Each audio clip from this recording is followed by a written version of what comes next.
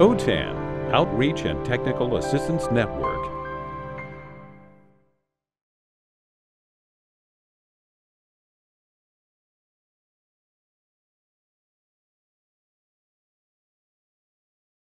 So welcome, my name is Jennifer Gagliardi. I'm talking about taking up your citizenship class. Basically, it's citizenship press prepped on the go. Uh, my name is Jennifer Gagliardi. I am an OTAN subject matter expert. I've taught citizenship for over 20 years at Milpitas Unified uh, or Milpitas Adult School. Uh, I also do um, the website, podcasts, and video series from uscitizenpod.com. And um, I was written two citizenship books recently Citizenship for Dummies, yay, second edition, and now I am um, a moderator for the new uh, forum on at lincs.ed.gov for civics education and citizenship prep. And I would, re- would really like to extend an invitation to you to join LINCS and to get involved in our discussions. So let's get started. So, um, by the way, uh, the president want to pop in and say hello. So hi, Joe. Um, I know he's busy this week. And this is our objectives. We will identify the latest citizenship resources with mobile apps, videos, websites, and online courses. By adapting and incorporating these digital resources, participants will be able to implement learning strategies appropriate for citizenship online classes blended learning classes, distance learning environments, or self or directed self-study. I wanted to address, address, the latest news about the USCIS naturalization test redesign. Uh, they do have a website. Um, not too much is on there yet, but we will pop over there we will talk um, they we will talk about uh, they're going to have a trial test over the next five months in uh, 2023 2023 they're basically testing two key components. Number one they're going to do a, a multiple choice civics test. It's going to have four choices. No none of the above or a and b or um, none of them are correct those kind of things. Also, they're going to do a standardized picture-based speaking test. Uh, the topics will include, uh, uh, they will include daily routines, weather, food, shopping, school, and the tests are similar to the picture-based tests from BEST Plus 2.0 or the TOEIC Bridge. And the prompts will basically be, tell me about this picture and they're going to be scored based on relevant, relevant content and phrases. So let me move forward just a little bit more about this and then we'll go to the website. Uh, first of all, does anybody have any questions about the initial, the initial information? Are we okay to move ahead? Okay, um, Community-based uh, organizations will be provided with a full bank of multiple choice te civics test questions, correct answers, and educational resources, and, uh, including the picture pr uh, prompts. Also, a technical advisory uh, group, a tag, will be selected by the contractor. USCIS has not named the contractor yet, Previously, they had used TESOL as uh, the people to organize the tag group. Uh, we'll have to wait to see who they do uh, pick for the tag group. Tag group will consist of 10 subject matter experts, five adult ESL, second acquisition or assessment, uh, experts in assessment design and US, uh, and then five US government, civics, American history, and assessment design uh, experts. The tag will review and recommend language level, uh, language levels, scoring rubrics, and uh, educational resources. And nonprofits and adult ed programs can volunteer uh, at, uh, at Naturalization Redesign 22 at USCIS uh, uh, DHS.gov. So I just want to take a minute to address you. I was a part of one of the TAG uh, committees uh, earlier. Um, one of the things that um, the our results were inconclusive. Um, but I really have to say USCIS brought their absolute A game to uh, to the process, as well as the people from TESOL, World Ed, and the participants uh, from San Diego to Seattle, all the way to the East Coast. Everybody brought their A game, very serious doing the work and everything like that. So I would feel in complete confidence with the um, what the tag does and how they review and the care and expertise that they bring. So let me continue on. Oh, let me take this opportunity now to actually go to, um, I want to go to uh, USCIS where they had that website, that uh, um, the the the uh, 22 or they have they're talking about the redesign. So you go to uscis.gov. You go to citizenship. You're going to the place about um, I think it's I think it might be here. Naturalization, yes. Naturalization under naturalization test and study resources natural test redesign. This is where they're going to put the information. However, what they do, they basically have this, uh, they said that this is the federal register. This is where we announce the plans. They basically, in when the federal registration notice talks about some of the laws that the, the uh, new um, or why they need to do the redesign in some of the laws that they take into consideration. There was a presentation on January tw uh, 12th. Yesterday, they had a virtual engagement. I don't know if they put up the test yet. No, this is just simply the um, this is simply the page where they they uh, invited people to uh, participate. And later, they're going to be sharing the information or the slide deck from this presentation on um, on March on March the 3rd. So we're waiting for that to come up. Um, and as soon as it does, we'll be sharing that information with you. Let me go back, step back into my presentation for a minute. Does anybody have any further questions here? Yep. Okay. Um, this is the initial, I have uh, two initial responses to the naturalization test development. Uh, we have an article from Lynn Weintraub from Citizenship News. She posted it January the 13th. She talked about more details on the test uh, redesign. It was fairly positive. Um, and then on, I believe it was March the 2nd, Bill Bliss uh, posted uh, his response uh, was really in really dug into the um, the standards that they were talking about during the test.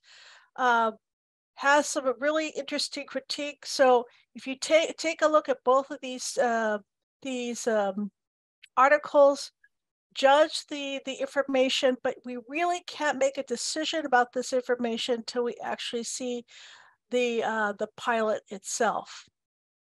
Also, I want to do uh, a little bit of advertising for LINCS. So this is, um, let's see, I need to reshare share. So this is lincs.ed.gov. We've recently started a new forum for civics education and citizenship. I've posted Lynn Weintraub's article there. We have a really good response from Mary Jen Reuter, uh, uh, affirming some of the findings uh, or conclusions uh, by um, uh, by Lynn Weintraub and then yesterday or the yeah or the day before i posted uh, bill bliss's article and then the invitation i will post the the the the rest of the um, the slide deck there from the USCIS as well as any further discussion. So please uh, stay tuned for that. While we're here at LINCS, I would like to invite you to join the LINCS community. We have a very vibrant community, uh, especially with language acquisition, uh, we have uh, two new forums, civics education and also diversity and equity and inclusion. One of the, my favorite forums is math and numeracy, and I hate math and numeracy. But or no, I know I hated math when I was going to school. However, as I became an adult, I realized that math is really, really important and touches every aspect of your li- personal and professional life. So, um, let's see, is Peg here? Can she talk about? Can you talk about this your upcoming webinar? Thanks, Jennifer. So Yeah. again, for anyone who wasn't in our last session with Jennifer, um, Math and Numeracy Strand of LINCS is sponsoring um, April 17th and 18th in a two-day online discussion around financial literacy in all aspects of adult education. So my co-facilitator, Brooke Istis, and I would greatly appreciate anyone's attendance, stopping in, post a couple comments, few sentences, be supportive. Um, and thank you in advance. I mean, it's a great opportunity and LINCS, LINCS is a wonderful forum, Jennifer, um, just for sharing and staying up to date. Yeah, especially if you, um, well, for a couple of reasons. Number one, everything that they talk about on LINCS can immediately be shared uh, shared in your your program, and if it's shared in your program, then and implemented, it could be uh, basically applied in your classroom. Second thing is is that it is an initiative by OCTAE, which is from the Department of Education or the U.S. Department of Education, talking about uh, implementing. That's the group that basically implements a WIOA and IEC, IECLE. LCE. Yeah, sorry, I'm sorry. Uh, um, uh, initiatives. They're very much interested in immigrant, uh, immi- immigrant education or immigrant, uh, sorry, immigrant integration, and they're very, very serious about research-based um, practices. So basically, you research it, you you you basically apply it, you bring the information back. So you basically have some really solid information to share with your programs, to report out to the government or any uh, financial institutions. So I really, really appreciate LINCS, and they have uh, seem to have a really good collaboration going on with uh, COABE. Um, which is our uh, coalition for adult uh, for adult education educators as well. So I will refer to them in a couple minutes. So I'm going to go back into my presentation and continue on. Um, so let's see. Okay, so that was uh, the naturalization. That's the initial response to the naturalization um, redesign. So we're looking forward to seeing what will happen there. I'm going to talk about delivering content. And I have so many students that are like, oh, teacher, I want to learn citizenship. I can't come to class. So uh, what do you do? So I started my, my podcast uh, in 2007 and then developed a website and videos a lot to go along with it to basically enable students to uh, practice citizenship outside the classroom because the citizenship test actually happens outside the classroom. So that's going to be really, really important. And it's not that the students don't want to come to class, but they can't come to class because they have adult responsibilities. A lot of our uh, issues at Milpitas seems to, to revolve around uh, daycare, uh, students have to do overtime or students have to are transferred to the swing shift. So sometimes they have rotating shifts. So they can't go. So that's been a problem in the past.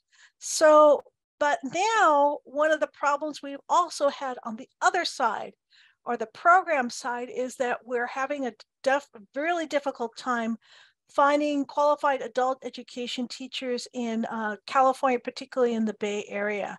So um, I had to, what I did was I forego or basically said, um, well, we couldn't find so, some teachers for the evening. So I said, look, my citizenship my citizenship class or course works online.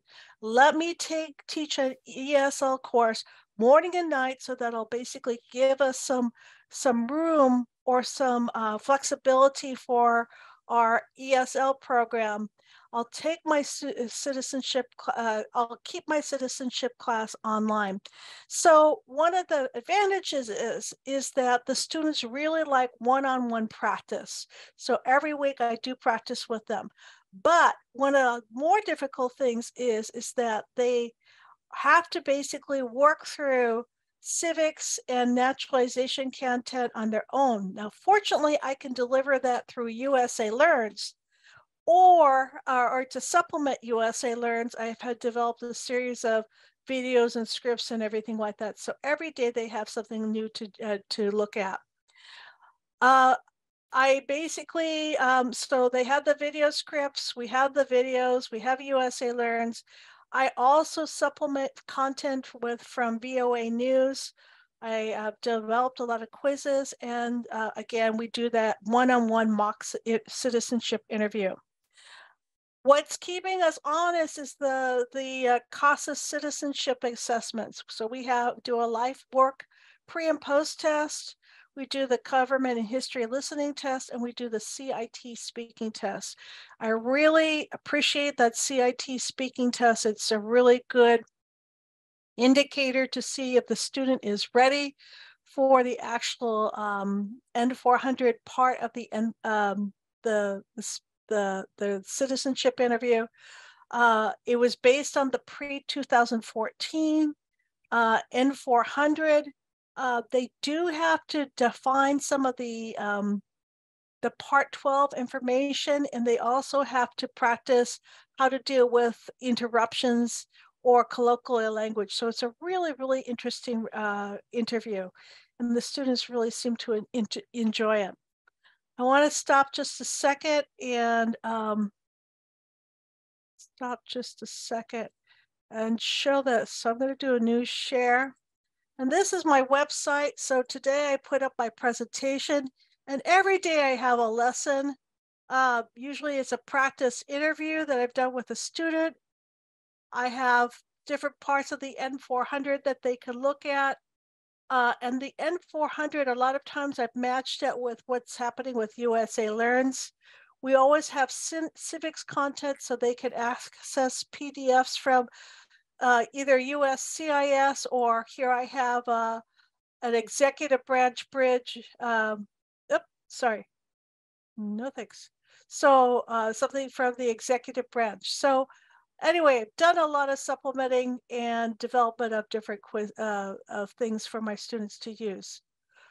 One thing that I do want to share is also um, that it is International Women's Month. So uh, I always try to put up some information uh, from our uh, different uh, different government and educational resources related to women's group.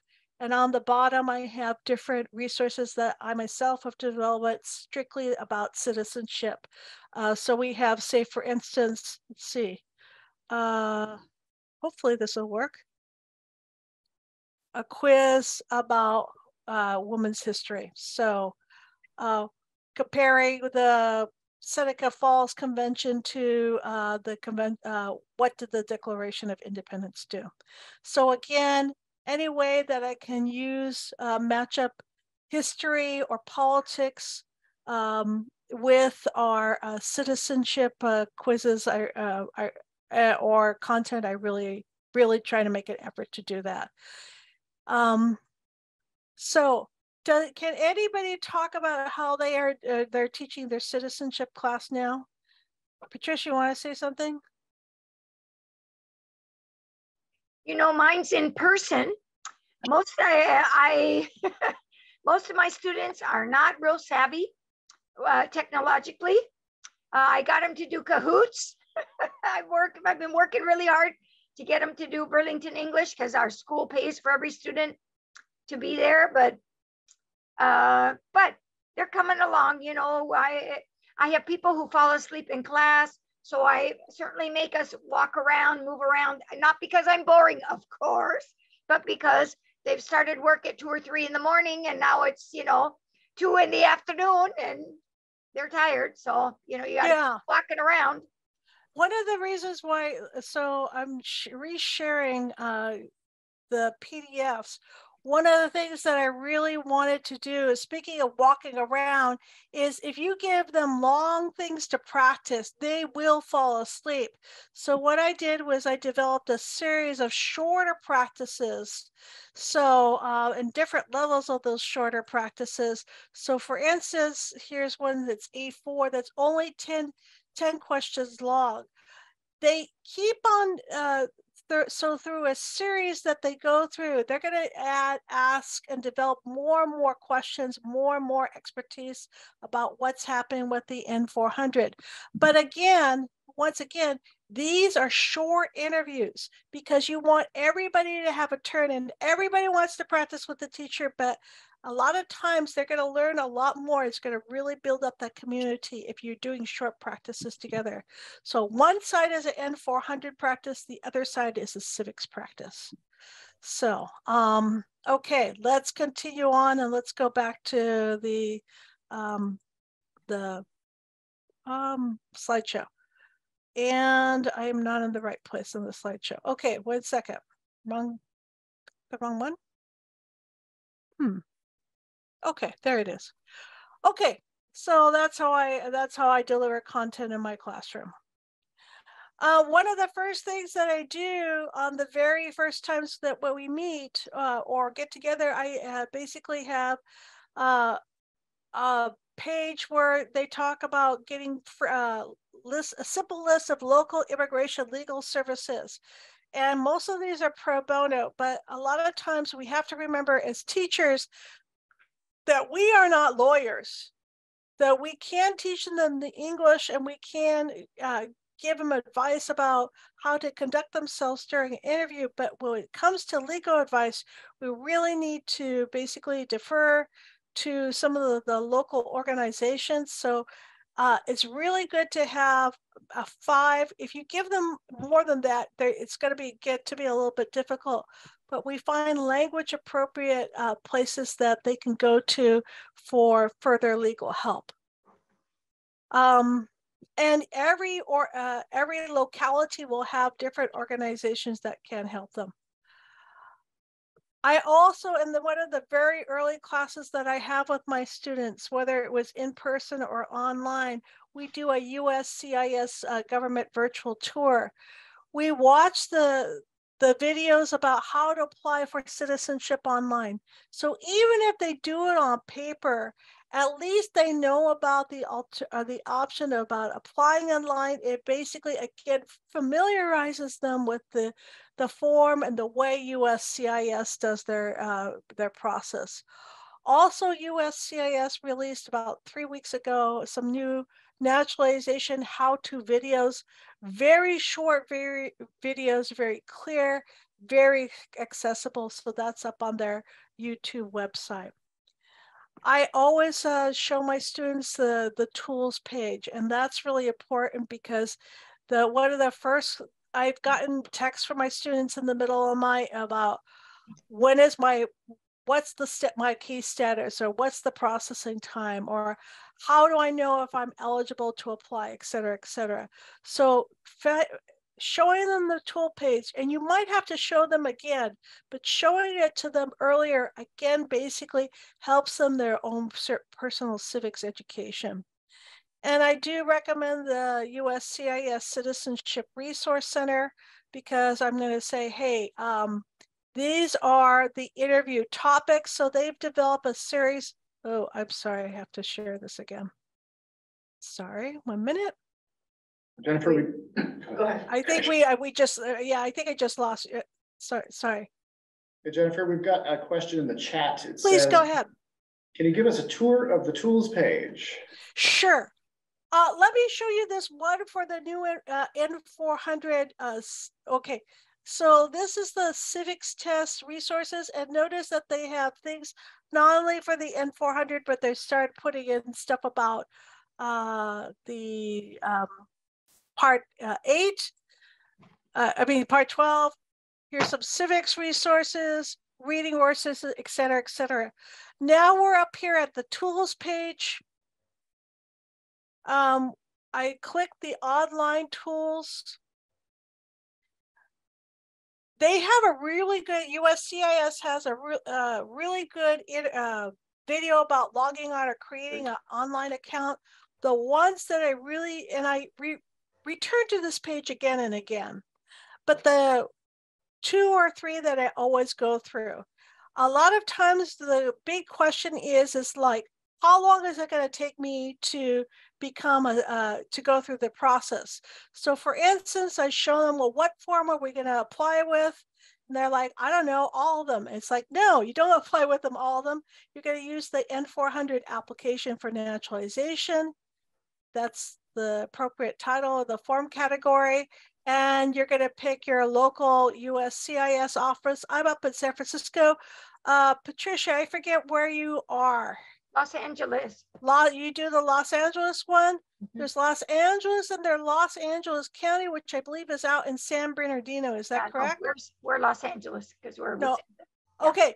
Uh, but so in Los Angeles, Los Angeles, it's going to take them approximately 16.5 months, but I understand that it's going much faster now. Is that Yeah, correct? I was gonna say I had, uh, I've already had two students, one applied in, uh, uh, August and she was interviewed in January.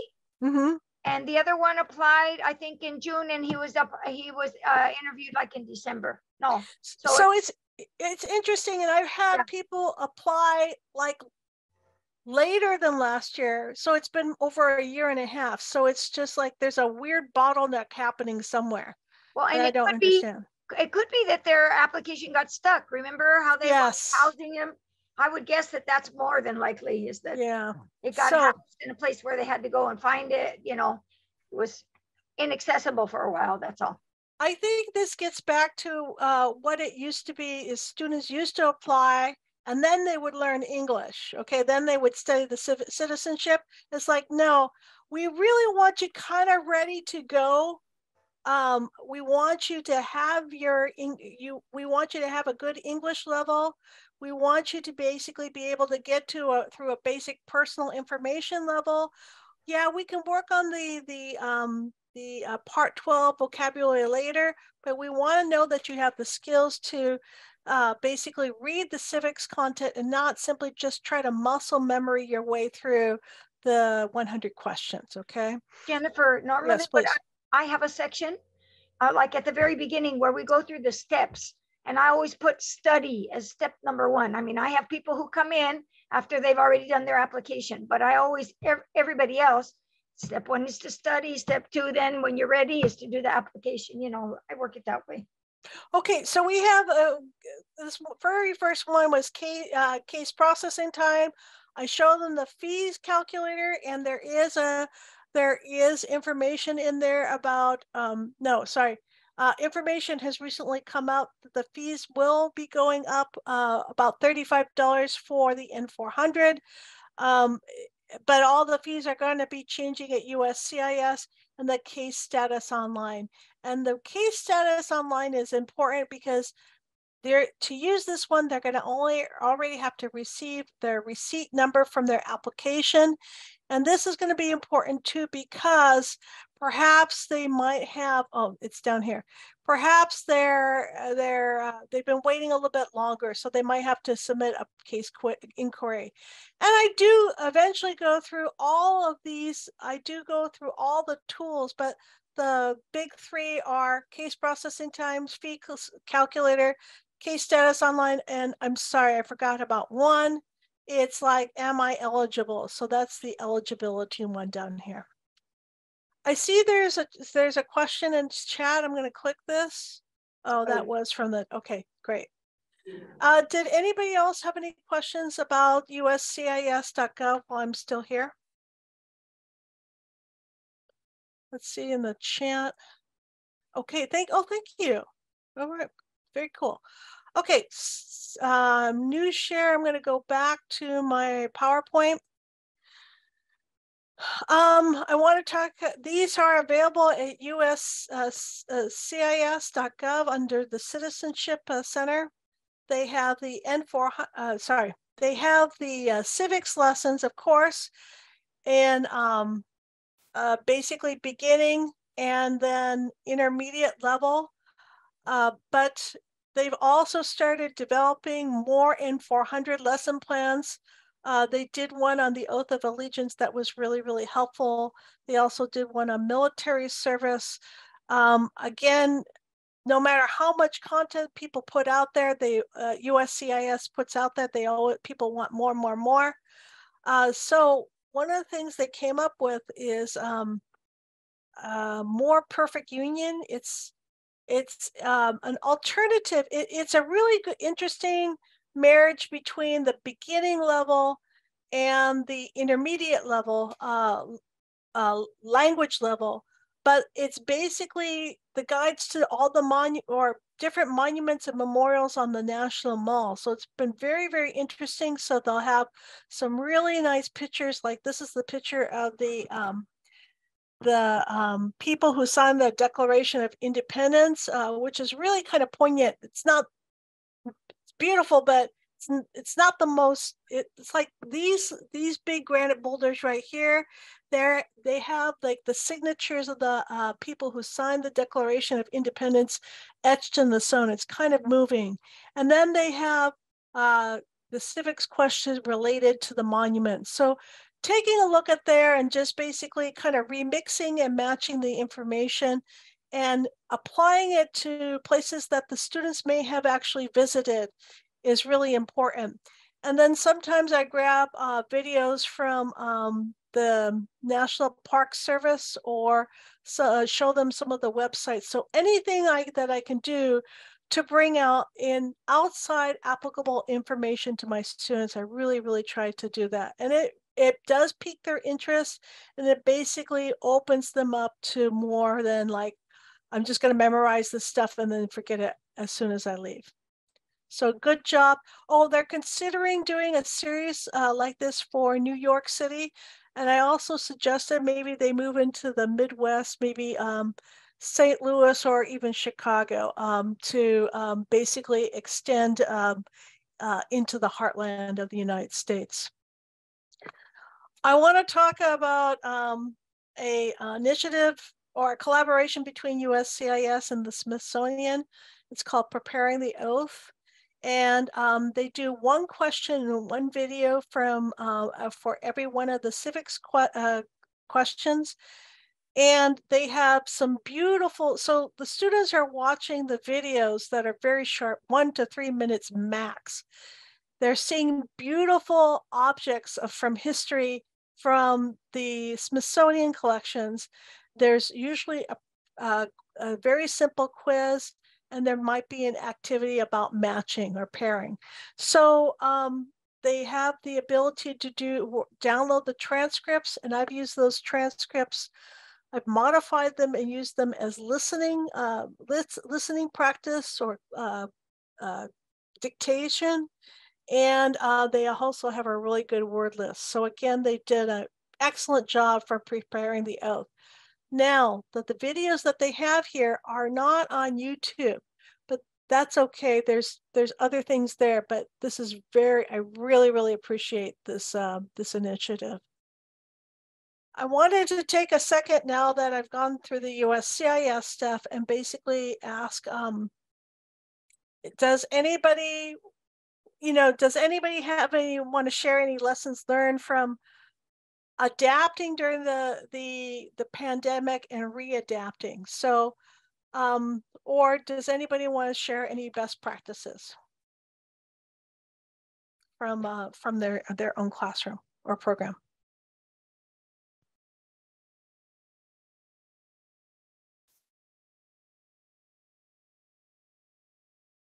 Okay, let's see. We have a hand up. Peg, did you want to say something? Thanks, Jennifer um, at my programs in Trenton, um, coming back from you know the pandemic and everything, what did we learn from the pandemic was, you know, having everything remote. It kind of, in some ways, made student collaboration easier. Really? Wow. Um, only because during, you know, during the complete lockdown, that was a way for students to stay engaged with live individuals, so to speak. Um, and they started to make YouTube videos. The department set up a, a YouTube channel right when we went on remote.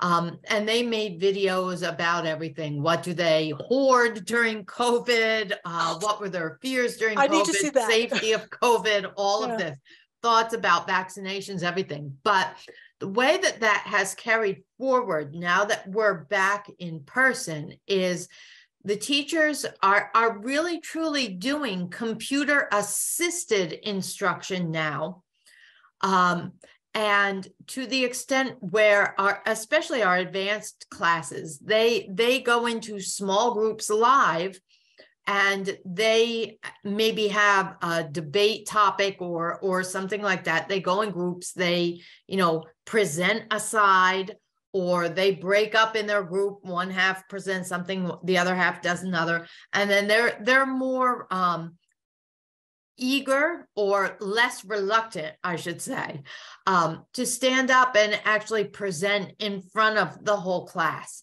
Um and we've also i know i just talked to my advanced teacher yesterday and she said her students are now doing a project um, and it's singular. Each student is working individually, um, choosing a president from their country and a president from the United Oh, States, someone who has been in office at the same time. Wow. So not necessarily Biden, not necessarily Trump, not necessarily Obama, but somebody, you know, for whatever Mhm. um obviously it, and it can be very far back we we have a student from the ivory coast for example um who chose uh someone who was president of the ivory coast uh, who was president of the ivory coast at the same time as bill clinton was president of the united states so compare and contrast these two individuals and in her presentation she explained that that president from the Ivory Coast was her grandfather.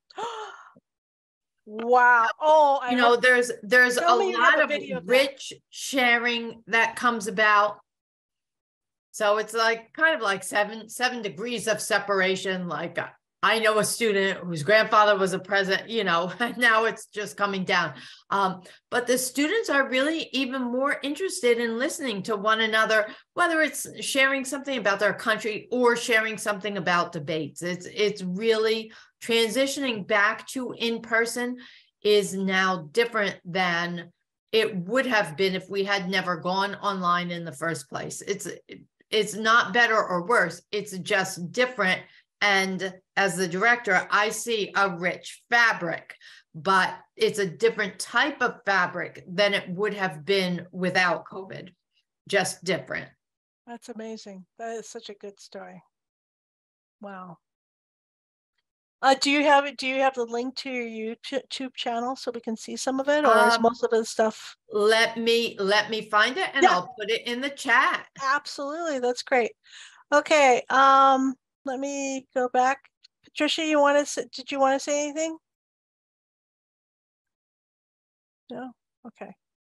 Um, let's see, uh, further, um, I want to, some of the lessons that I learned, uh, was that, um, every form is an opportunity. So, um, so one of the, the, um, initial questions that citizenship students have is what is the USCIS N400?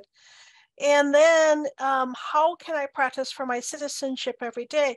So uh, I really talk a lot in my classroom about comparing forms, like the documents or um, the forms or the documents, and it counters with their doctor or with um, um, you're for they're comparing the forms, the documents, and their encounters with the USCIS N400 interview experience. Um, so um, also we're talking about a wallet interview. So we've I've basically opened my wallet and basically demonstrated like this is where my name is. This is where I would find my information. Here's my green card. This is where I would find uh, my date of permanent residence. Uh, I carry this credit card so I can get points to go, go travel and then th- those kind of things. So using the information in a wallet basically and walk your way through almost a mock interview. Medical history forms and auto for, uh, fill forms are um, for shopping is a way to practice addresses. Job applications and interview are what some of those gatekeeping um, those gatekeeping experiences that basically uh, prepares a person emotionally for the interview.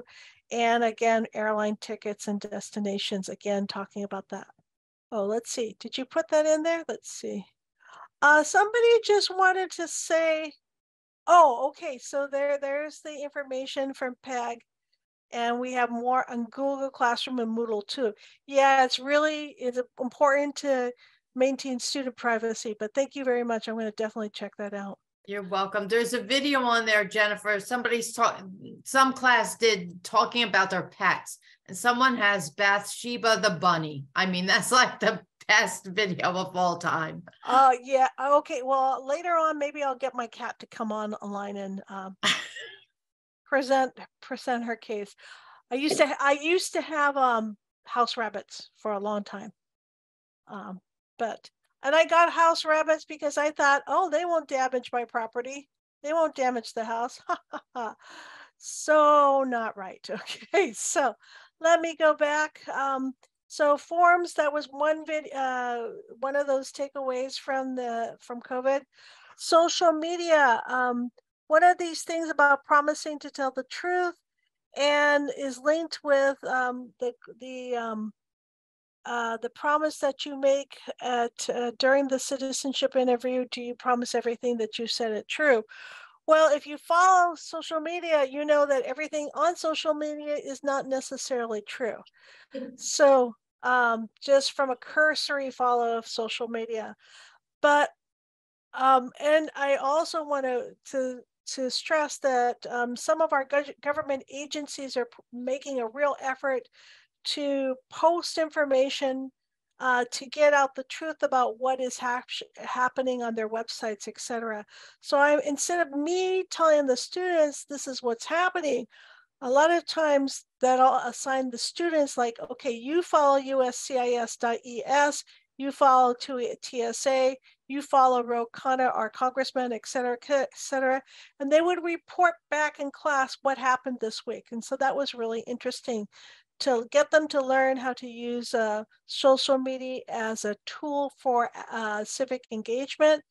Um, and um, I really appreciate the Voice of Learning English News Literacy series, was a, was a very um, uh, initiative I think came out five years ago about talking about news literacy, and iCivics has a really good literacy, news literacy um, uh, uh, activity.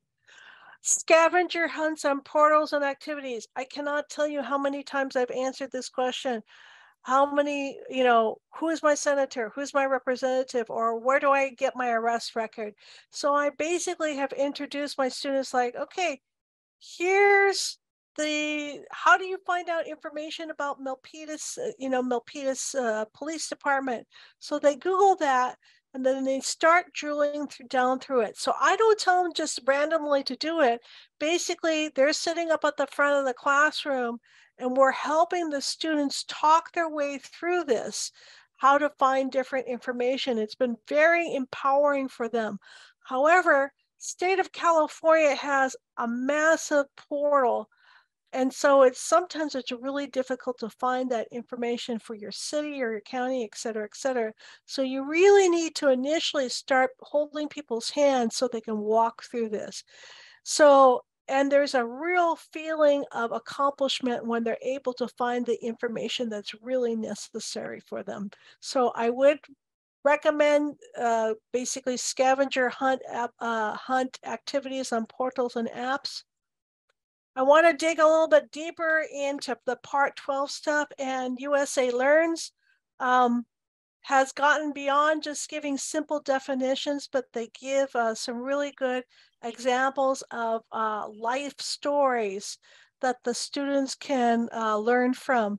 So this is a quick one about somebody who engaged in legal activities Uh, they've done their time, they paid their fine, can they still become citizens?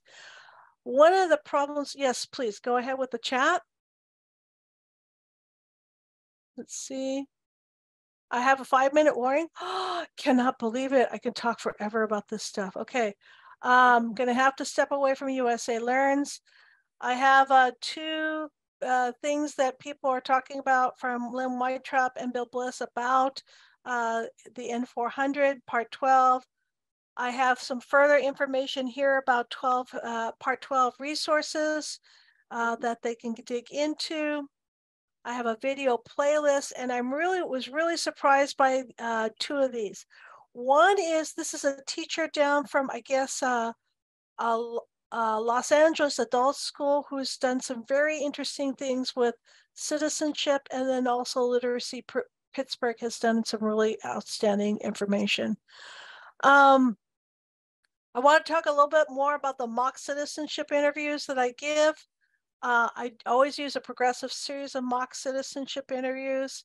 Uh, I upload the videos to Google Drive or YouTube. I set them to um, not to private because then only I could see them. I set them to um, no, uh, not listed, and so or unlisted, and so then the students can uh, watch them uh, as many times as they want. I send the, the, the link to the students an email with uh, one to three reflection questions about how they could have responded better or is there another way to practice rephrasing. And um, I delete all the videos to protect their privacy after the students take the oath of allegiance. Um, I just recently developed a mix and match uh, uh, uh, series E, and I basically uh, emphasized the the part 12 information with uh, civics quizzes. So here's one that I practice between residency and voting. And the reason why is because there's always a link between residency and voting. And the student, after they go through this, they have to tell me what is the relationship between residency and voting because they also answer a quiz. This is the final slide and I have a Padlet of all sorts of a lot more resources uh, let me click this here. So um, stop share. And you can see the resources here. I also have them up here on the Padlet. So I have a lot, and which is going to think about loading. So I have something here that I'm going to try to develop for C. Uh, COABE has a state convention in California uh, in April. Uh, this year it's going to be in Oakland. And one of the things is I have a civics calendar that um, I have a whole bunch of adult resources related to different holidays. I'm going to try to beat this out into a uh, Google, uh, a shareable Google calendar so people can have uh, that civics information for them at the fingertips and activities. I have uh, information about the test redesign and the new uh, citizenship uh, videos and um, all sorts of things about voting, online courses, especially the ones that came up about the Constitution Explained, and civics and news literacy and um, faith-based immigration and citizenship resources. And that's it. Let's stop and let's get to the tech slam, okay? Does anybody have any questions? Do we, we go to 210 or we, we're done? Yeah, we, we have till two ten. Oh, we do have to two, 210. Oh, I didn't have to rush through the slides. But does anybody have any questions before we go on? Patricia, did you have anything you wanted to say?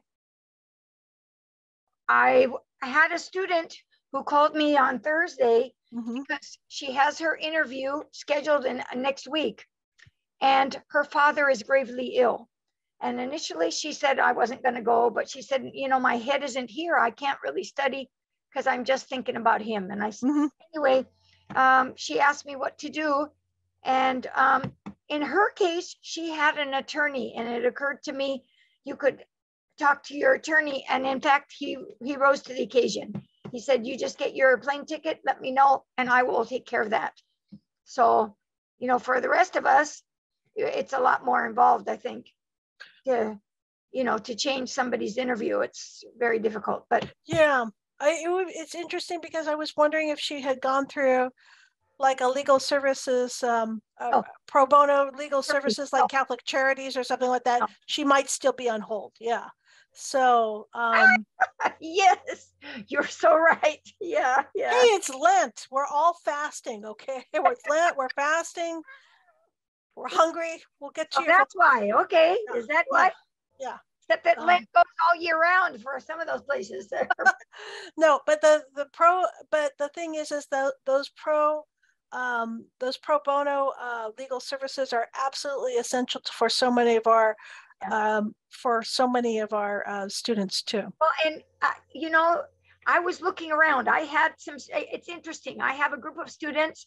I have two classes, but I have a group of students who have a lot more legal problems than students I have had in the past.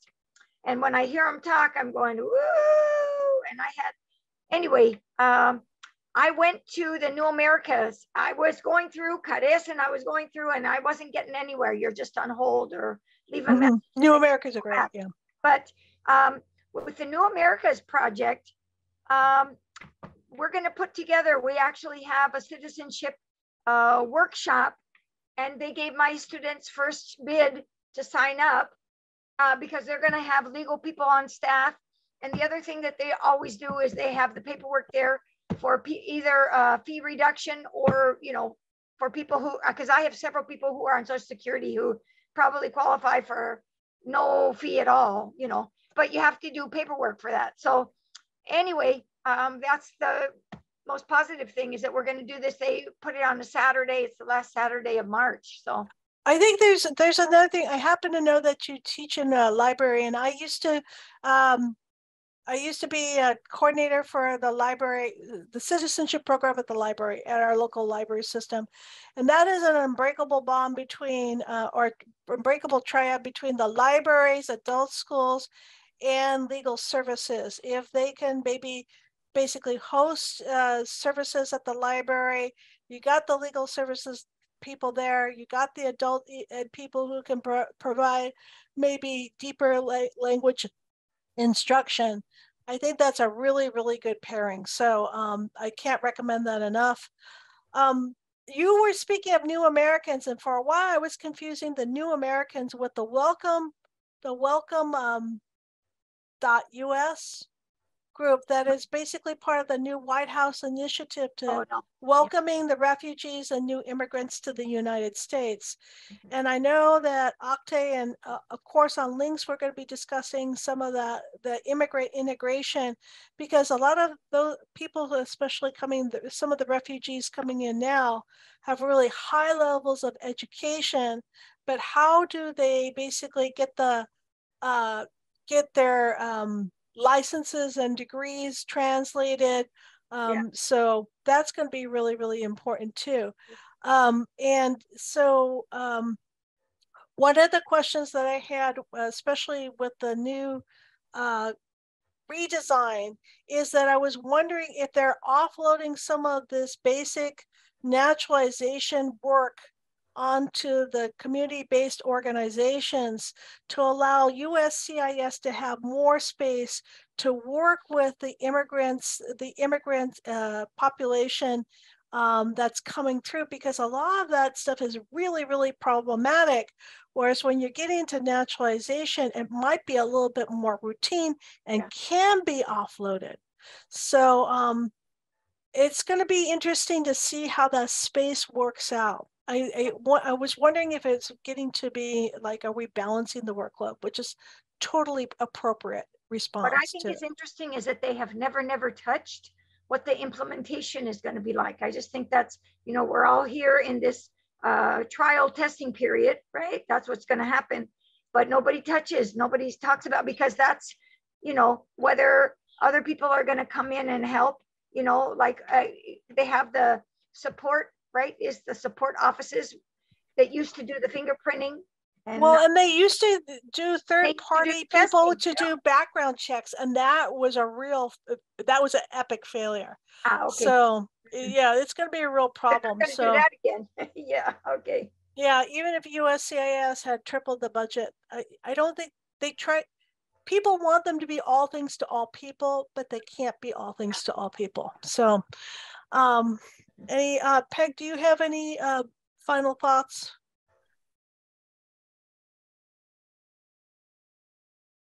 No, not at all. But thank you, Jennifer. I, I only just echo what you say, you know, it's really getting them, uh, giving them opportunities to be able to speak. Um, because I think conversation is one of the most challenging areas of any language uh, because it's live. Absolutely. And Absolutely. even though, for example, this is recorded, but what you said exactly five minutes ago, you can't remember off the top of your head. It, you know, no one can. And for our for our students, it's that's what makes speaking so difficult.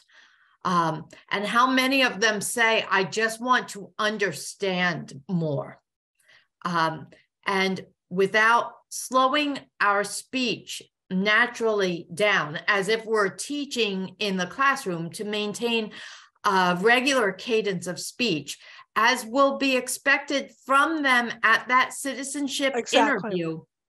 And, and anytime somebody walks in the door how are you today? I'm fine thank you. Tell me more.